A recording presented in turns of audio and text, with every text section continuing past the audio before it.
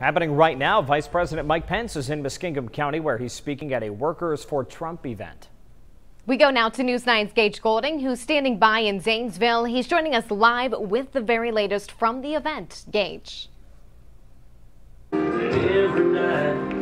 Good evening, Gretchen and Kate. Thank you. Take a look at this crowd behind me at the Muskingum County Fairgrounds.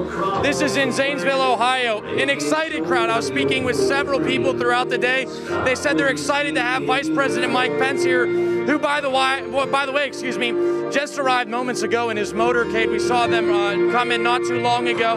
We're expecting the Vice President to speak here any moment, to take the stage here any moment. Top Trump campaign officials tell me that one of the highlights of his speech this evening will be about the economy.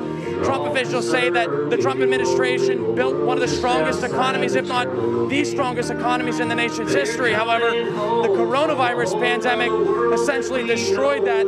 Their goal for this campaign and this election is going to be solely on the economy, what they can do to help the economy. We're going to keep you updated. We're going to stay here. The best place to find minute to minute updates from what Vice President Mike Pence says is on our social media. We'll keep you updated on air, online, and on social media. Reporting live in Zanesville for News 9, I'm Gage Goulding.